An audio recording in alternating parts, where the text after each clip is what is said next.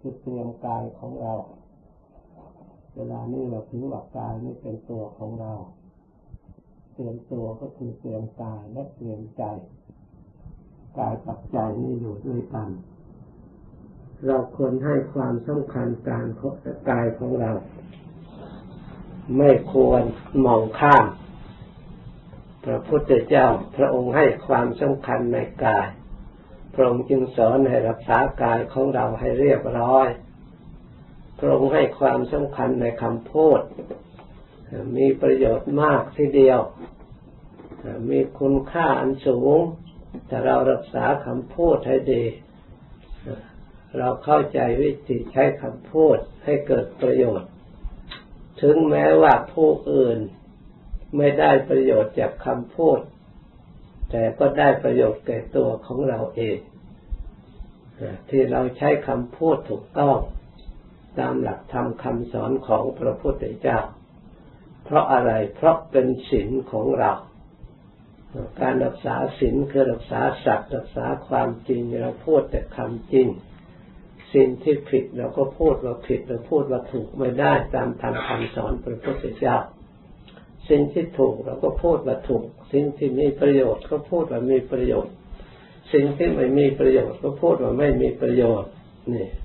เพราะเราพูดตามคำสอนพระพุทธเจ้า เราไม่ได้บิดเบือนคำสอนของพระองค์ ไม่ได้ดัดแปลงแก้แก้ไขคำสอนของพระองค์ เพราะฉะนั้นการรักษาคำพูดคำสัตย์คำจริงเป็นสุภาษิตาคำพูดเหล่านั้นจะเป็นกิริยาอย่างไรก็ตาม แต่มันเป็นสัจวาจาประกอบไปด้วยประโยชน์ เพราะเหตุนั้น พระองค์มองเห็นความสำคัญ คุณสมบัติที่มีอยู่ในตัวของเราเรียกว่ามนุษย์สมบัติ คืออัตภาพร่างกาย ที่เราได้มาเป็นมนุษย์ มนุษย์มีสมบัติคือพูดจาสนทนากันปรึกษากันอบรมทายเทความรู้ให้ซึ่งกันและกันได้ ด้วยวาจา จึงมีความสำคัญในทางวาจา ส่วนจิตใจก็ยิ่งสำคัญมาก ยิ่งพระองค์สอนให้รักษาให้อบรมให้ศึกษาอยู่เสมอ ไม่ให้ปล่อยให้จิตใจนั่น ไปเกลือกกลั้วในอารมณ์มัวหมองต่างๆละอองทุลีจะทำจิตใจของเรา ไม่ให้ มีผลงานอันดีงาม จิตใจเมื่อไปกระทบในอารมณ์ต่างๆ แต่เราไม่ได้รักษาแล้ว อารมณ์ที่กระทบเหล่านั้นอาจจะนำเชื่อร้ายมาสู่ตัวของเรา ให้เราได้รับทุกข์รับโทษ รับเวรรับภัยกับเชื่อร้าย ที่ติดมาทางอารมณ์จิตใจที่ตาเห็นก็ตามหูได้ยินก็ตาม จมูกได้กลิ่นเดิ้นได้รสทางใดทางหนึ่ง พระพุทธเจ้าสอนให้สำรวมให้ระวัง ส่วนความดีก็อาจจะเข้าได้ทางนี้เกิดขึ้น เมื่อเราพยายามกำจัดสิ่งที่ไม่ดีเกิดขึ้น ทางทวารทั้งหกแล้วตรงกันข้ามปกปิดทางไม่ดีแล้วเปิดทางดีให้มีโอกาส เข้ามาอบรมจิตใจของเราให้ผ่องใสสะอาด ได้สติได้ปัญญา สติกับปัญญาเเป็นสมบัติของมนุษย์ที่ล้ำค่า องค์สมเด็จพระศาสดาสัมมาสัมพุทธเจ้าแห่งเราทั้งหลาย พระองค์อาศัยสติปัญญานี่เองได้บรรลุธรรมตรัสรู้ธรรม แล้วสอนสาวกให้ประพฤติปฏิบัติตาม ได้บรรลุธรรมตามพระองค์ ได้พ้นทุกข์เป็นจำนวนมาก ได้รับความสงบได้รับความสุข พ้นจากความอุปสรรคขัดข้องวุ่นวาย เวียนว่ายใจเกิดในวัฏสงสาร ก็เพราะสติปัญญาที่ได้ศึกษาและอบรมมาอย่างดีถูกต้อง เราทั้งหลายที่เราได้มาศึกษาก็เพื่อเจริญสติเจริญปัญญาตามธรรมคำสอนพระพุทธเจ้า ถ้าเรามีคุณสมบัติถึงพร้อมในบริบูรณ์ด้วยสติปัญญาอันชอบแล้ว ส่วนอื่นๆก็จะชอบไปด้วย ก็จะได้ผลงานของเรา ที่ประกอบไปด้วยประโยชน์ทั้งปัจจุบันและเบื้องหน้า เป็นปรมีอินทรีย์ของเราให้แก่กล้าสามารถยกฐานะของเราให้ดีขึ้น ยกระดับจิตของเราให้สูงขึ้น ด้วยสติด้วยปัญญาอันชอบทำอย่างไรสติของเราจึงจะสมบูรณ์บริบูรณ์ ตามหลักที่พระองค์ทรงแสดงไว้ ก็คือให้เรา พยายามระลึกรู้ตัวของเรา แม้แต่จะไปที่ไหนทำอะไรก็พยายามสังวร คือสำรวม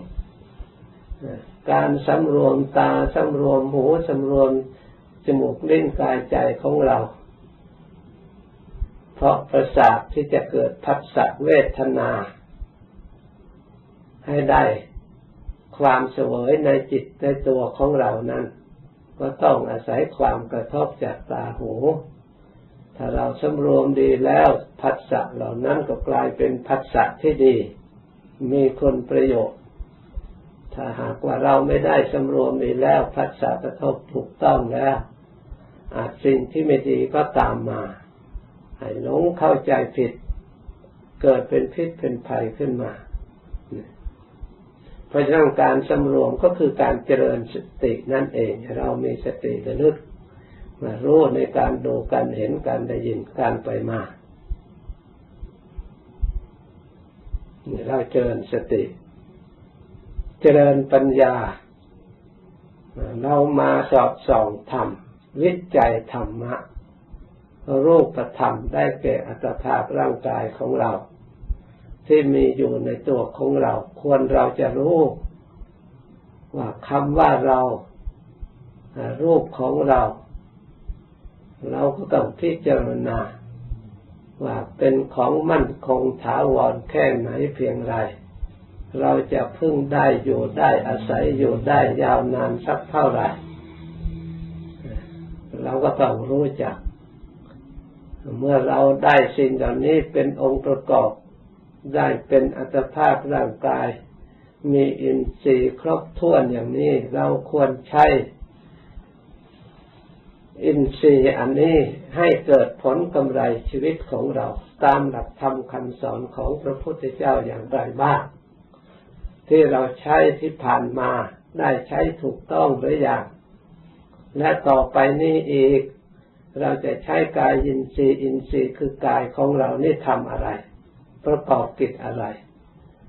ที่ใช้ได้ถูกต้องที่ผลกำไรชีวิตของเรา เรียกว่าชีวิตไม่เป็นมัน ตามหลักธรรมคำสอนพระพุทธเจ้าที่ไม่ให้ประมาทก็คือเป็นผู้มีสติระลึกทำสิ่งที่เกิดประโยชน์ที่เรียกว่ากุศล กุศลทั้งหลายเราทั้งหลายก็ได้ใช้ อินทรีย์ของเรานี่ประพฤติปฏิบัติคือกายยินทรีย์หรือมเนินทรีย์และตลอดถึงจักขุนทรีย์อินทรีย์คือตา สวัสดินทรีย์อินทรีย์คือหู ตาหูเราใช้ประกอบเช่นว่าเราสอดส่องหาวัตถุเขาของทำบุญให้ทางสอดส่องมาวัดมาวาจำศีลภาวนาล้วนแต่อาศัยตาที่ในทางบุญทางกุศล หูก็คอยได้ยินฟังข่าวการกุศลที่ไหนก็เกิดความโสมนัสสหกระตัง ความยินดีในกุศลนั้นนั้นบางครั้งก็ไปด้วยตนเองมาไม่ได้ก็เสียสละวัตถุทำบุญให้ทาน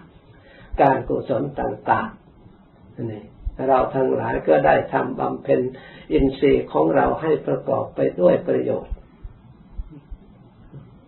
เราได้มารักษาศีลสำรวมกายสำรวมวาจาเพื่อปฏิบัติคุณงามความดี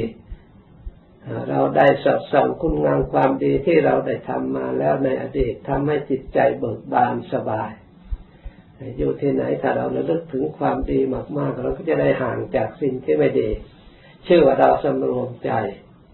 มีสติสำรวมใจระลึกแต่สิ่งที่มีคุณประโยชน์ถ้าเราไม่ได้ทำดีไว้ เราก็ระลึกไม่ได้ เพราะเราไม่เคยทำ เลิกขึ้นมาแล้วไม่แต่เรื่องวุ่นวายเรื่องเศร้าหมองเรื่อง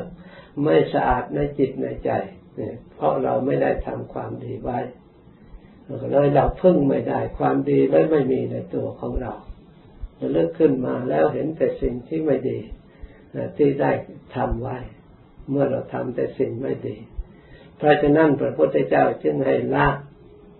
ถ้าเราละสิ่งที่ไม่ดีแล้ว เราก็ระลึกไม่ได้เลยว่า เราได้ทำความไม่ดีอย่างไรบ้าง เพราะเราไม่ได้ทำเพราะฉะนั้นความไม่ดีเหล่านั้นไม่สามารถจะติดตามเรามาได้ เพราะเราระลึกไม่ได้ไม่มีเลย มันหมดไปแล้วส่วนความดีที่เราพึงได้ เพราะเราระลึกได้รู้ได้เห็นได้ เพราะเราได้กระทำด้วยตนเอง ไม่ได้ก็หกหลอกลวงใคร ให้ทำบุญให้ทานแล้วก็ทำเป็นปกติ รักษาศีลแล้วก็สำรวมเป็นปกติ ตลอดถึงมาปฏิบัติภาวนาเป็นปกติ อันนี้เราไม่ได้โกหกตัวเองไม่ได้โกหกใคร เราเห็นเราก็ทำมาในตัวของเราจริง ๆ การกระทำเช่นนี้ที่เรียกว่าเป็นความดี เพราะไม่มีใครเดือดร้อน ไม่มีความเสียหายในการเป็นอยู่ในชีวิตของเรา ไม่แต่ส่งเสริมสนับสนุน บุคคลพูดทำดีให้ดียิ่งขึ้นไปชักชวนให้คนประพฤติถูกทางและปฏิบัติในทางที่ดี เราทั้งหลายเมื่อระลึกถึงความดีที่เราได้กระทำแล้วจิตใจก็เบิกบานจิตใจก็มีความสุขในจิตในใจ เท่ากับว่าเราออกจากสิ่งที่ไม่ดีไอ้เหอะห่างเหินจากสิ่งที่ไม่ดี เมื่อปรมีความดีที่เราทั้งหลายได้สั่งสมอบรมมาแก่กล้าแล้ว จิตใจยิ่งมีนิสัยในทางดีติดประจำแล้ว มันจะทำชั่วได้ยากเหลือเกินเพราะฉะนั้นท่านว่าท่านกล่าวว่าคนที่ได้อบรมจิตใจดีทำดีจนเป็นอุปนิสัยแล้ว ใครจะดึงไปทำความชั่วนั้นมันยากไปไม่ได้ แต่ถ้าดึงชักชวนไปในทางความดีเนี่ยคล่องนี่หรือไม่ต้องใครดึงเลยให้ได้ยินข่าวก็ไปเองแสวงหาเองนะแต่คนที่มีจิตใจไม่ดีเป็นพื้นฐานไม่ได้อบรมไม่ได้ฝึกฝนแล้ว ชักชวนมาทำความดีมาวัดทำบุญให้ทานการกุศลฝืดมาก รู้สึกว่า เขามองไม่เห็นเลย ช่องว่างที่เขาจะมาได้ หรือความพอใจที่อยากจะมาไม่มี มีอุปสรรคร้อยแปดแต่ทางอื่นเข้าไปได้ที่เขาชอบ นี่แสดงเป็นเครื่องวัดจิตใจที่มีสิ่งที่ไม่ดีอยู่ในจิตใจ เป็นอุปนิสัยของเขาแล้ว จิตใจจึงน้อมไปในทางที่ที่พระพุทธเจ้าติเตียนว่าไม่ดี ส่วนที่พระพุทธเจ้าทรงสอนสรรเสริญว่าดีควรกระทำควรปฏิบัติเขาไม่เห็นด้วยไม่มีจิตใจที่อยากทำเพราะฉะนั้นท่านว่าคนไม่ดีนั่นทำดีได้ยาก แต่ทำไม่ดีนั่นทำได้ง่ายคล่องตัวแต่ชวนไปในทางไม่ดีทางโมเมาทางให้เกิดความหลงความโมเมาความเพลิดเพลินนึก เกิดที่ตั้งแห่งความประมาทตามหลักธรรมคาสอนพระพุทธเจ้าที่กล่าวไว้เขาคล่องคล่องมากนี่เพราะฉะนั้นจะแสดงเห็นว่าคนดีนะ่ะทำดีได้ง่าย แต่ทำไม่ดีนะ่ะทำยาก แต่คนไม่ดีนั่นนะ่ะทำดียาก แต่ทำไม่ดีทำได้ง่าย ใครชวนไปในทางเล่นทางกินมัวเมาทางอบายามุขต่างๆนี่คล่อง ไกลแสนไกลก็ไป อดหลับอดนอนก็สู้แดดร้อนเท่าไรก็ไป เสียเงินเสียทองก็ยอมเสีย ถ้าเขาชอบ เพราะเหตุนั้น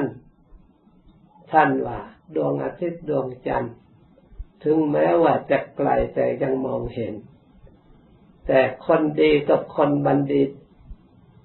มองไม่เห็นกันเลย ไกลกว่าดวงอาทิตย์ดวงจันทร์อีก ถึงแม้ว่าจะอยู่ด้วยกันก็ตามแต่ไปถือว่าใกลกันไปคนละทางเลยอะสันโตนิรยังเอติ สันโตสัตตปรายนา ว่าคนไม่ใช่บัณฑิต คนไม่ดีนั่น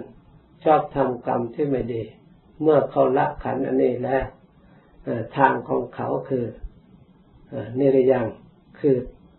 ทางทุกติมีนรกเป็นต้น ส่วนผู้ดีผู้สงบนั่นสักกะคือสวรรค์มีสวรรค์เป็นที่ไปเป็นเบื้องหน้า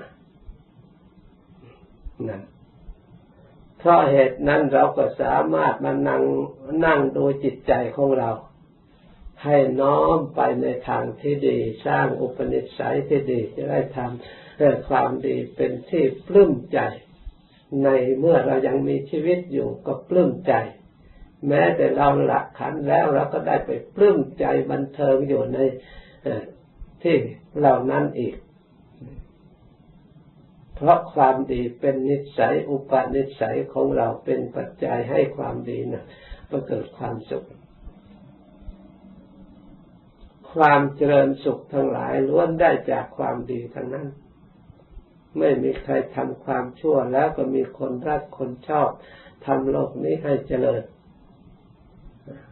ทำชั่วจะเคยมีอำนาจวาสนาสูงสักใหญ่โตเท่าไหร่ เมื่อเขารู้เห็นความชั่วที่กระทำแล้ว หมดอำนาจเสียแล้ว เห็นนักการเมืองใหญ่โตที่โกงกินประชาชน เคยมีอำนาจราชสัตว์อยากสูงพ้นที่สุดไม่มีแผ่นดินอยู่ ตายไปแล้วก็ไม่มีที่ดินจะฝังศพนั่น เราเห็นชัดเรื่องบาปเรื่องบุญ แต่ยังนี้ไม่เห็นต้องไม่ทราบจะว่าอย่างไรอีก บาปก็คือความไม่ดีที่ใครๆไม่ชอบนั่นเองเมื่อทำไปแล้วก็ไม่ได้รับความเดือดร้อนวุ่นวายนั่นเอง เรียกว่าบาป ส่วนบุญคือความดีที่ทุกคนชอบเมื่อทำแล้วก็ได้รับความสุขได้รับความเจริญที่มีอยู่ทั้งกายทั้งจิตใจนี่เราจะไม่เห็นเรื่องความดีความสุขความเจริญ ที่เราทั้งหลายได้ทำด้วยตนเอง เราจะสงสัยอีกหรือบาปมีจริงไม่หนอบุญมีจริงไม่หนอโลกหน้าจะมีจริงไม่หนอทำไมจึงยังสงสัยสิ่งเหล่านี้อีก ถ้าเราไม่เชื่อเราเองก็เราเชื่อคำสอนพระพุทธเจ้า ว่าองค์สมเด็จพระสัมมาสัมพุทธเจ้าของเราเป็นพระอรหันต์เราเชื่อพระองค์ก่อนแล้วก็ปฏิบัติลองดูเมื่อเกิดปัญญาความรู้ความฉลาดเราก็จะได้เป็นสันทิติโกเห็นได้ด้วยตนเอง ไม่ต้องเชื่อตามใครทีนี้เพราะสวากขาโตนั่นจะต้องเป็นสันทิติโก จึงเรียกว่าสวากขาโต จึงเรียกว่า คำสอนที่พระพุทธเจ้ากล่าวดีแล้ว เพราะเราก็เห็นได้โดยตนเอง ความดีที่เราทำอยู่นี้ก็ปรากฏชัดในตัวของเราเอง มีผลดีตอบสนุบำรุงให้เราได้ ความเย็นใจความสุขใจเป็นที่พึ่งทางใจตลอดมาเมื่อเราเห็นได้อย่างนี้ก็ชื่อว่าสันทิฏโกเหมือนกัน เราเห็นในตัวของเราเอง เราผู้ปฏิบัติเราต้องรู้ เช่นว่าจิตใจสงบ จิตใจวิเวกนะเรามีสติอบรมตามหลักธรรมคำสอนพระองค์เวลามันสงบวิเวกความสุขก็เกิดขึ้น ความเบาความอิ่มในจิตในใจก็บังเกิดขึ้น ซึ่งไม่เคยมีมาก่อน เมื่อเราไม่ภาวนาไม่พบเลยความสุขชนิดนี้ ความสงบชนิดนี้ ไม่ถึง มันมีอยู่ที่ท่านกล่าวอยู่ แต่ก็ไม่ปรากฏขึ้นในตัวของเรา เพราะเราไม่เคยทำอยู่จังหมื่นปีแสนปีก็ไม่ปรากฏกับบุคคลผู้ไม่กระทำและไม่ปฏิบัติตามรสชาติชนิดนี้ แต่เกิดขึ้นสำหรับบุคคลผู้มีศรัทธาประพฤติปฏิบัติ ได้สัมผัสสัมพันธ์คนมีอุปนิสัยอินทรีย์แก่กล้า พอเข้ามาประพฤติปฏิบัติก็ย่อมปรากฏเห็นผล เรียกว่าสุขขาปฏิปทาคิปปาพิญญา ปฏิบัติสะดวกสบายถ้าก็รู้ได้เร็วด้วย ด้วยกุศลปรมีที่เขาทำไว้เกือบเต็มรอบแล้วอพอเหมือนกับดอกบัวพ้นจากน้ำแล้วพอพระอาทิตย์ขึ้นมาได้รับแสงอาทิตย์เท่านั้นมันก็บานเนี่ยสุขาปฏิปทาพิปาปัญญาเหมือนกัน แต่อดีตชาติเขาทำมาแล้ว เขาไม่ได้ประมาทมีสติสมบูรณ์มีปัญญาสมบูรณ์ แต่อาสวะยังไม่สิ้นต่อเมื่อได้พบคำสอนพระพุทธเจ้าเท่านั้นก็มีจิตเบิกบานเข้าใจในธรรมของพระองค์มีปัญญารอบรู้ในกองสังขารละตัดเอาวิชาตันหาอุปทานให้สิ้นไป เหมือนกระดอกบัวใด แสงพระอาทิตย์แล้วก็เบิกบาน เต็มที่มีกลิ่นอันหอมพุ่งไปทุกทิศทุกทางนี่เราทั้งหลาย ควรให้ความสำคัญแก่ตัวของเราเองที่ได้เกิดมาเป็นมนุษย์อย่าให้เสียใจน้อยใจว่าเราเป็นอย่างนั้นอย่างนี้ เราได้เครื่องมืออันดีแล้วมนุษย์สมบัติ เป็นสมบัติที่ที่สูงที่มีจิตใจสูง สามารถเกิดมาด้วยจิตใจอันสูง สามารถจะใช้สมบัติอันนี้ ให้เกิดประโยชน์แก่ตัวเองอย่างสำคัญยิ่ง พระพุทธเจ้าพระองค์ก็ใช้มนุษย์สมบัตินี้ได้เป็นพระพุทธเจ้า แต่ก่อนพระองค์ก็เป็นคนธรรมดาเหมือนกับเราเรานี่แหละ พระอริยเจ้าทั้งหลายเมื่อก่อนท่านก็เป็นคนธรรมดา ธรรมดานี่แหละโลก เคยผ่านมารู้อย่างไรมีอะไร ท่านก็มีเหมือนกับโลกทั่วไป แต่เมื่อท่านได้ยินได้ฟังทำคำสอนพระพุทธเจ้าแล้ว เกิดความศรัทธาเลื่มใส่นำเข้ามาประพฤติปฏิบัติตึกตรอง สอดส่องพิจารณาเกิดปัญญารู้เห็นขึ้นมา เกิดความเลื่อมใสยิ่งยิ่งขึ้นไปยังเก่กล้า สามารถสร้างปัญญาตัวเอง เห็นสัจธรรมความจริงปรากฏขึ้นมา สามารถละสิ่งที่ไม่ดีประพฤติทำสิ่งที่ดีจนมีพลังสมบูรณ์เต็มรอบแล้ว เบิกบานเต็มที่แล้วสามารถตัดอาสวะทั้งหลายเส้นไป สิ้นภพสิ้นชาติ สิ้นอาสวะทั้งหลาย เพราะการฝึกฝนอบรม จิตใจให้มีสติมีปัญญาสมบูรณ์บริบูรณ์ สติปัญญานี้เอง เป็นพาหนะส่งให้เราทั้งหลายได้พ้นจากทุกข์ได้ถึงความสุขที่แท้จริง เพราะฉะนั้นขอให้เราทั้งหลายเจริญสติสมบูรณ์ด้วยสติทำสมาธิเรียกสมถะภาวนา จริญสมบูรณ์บริบูรณ์ด้วยปัญญา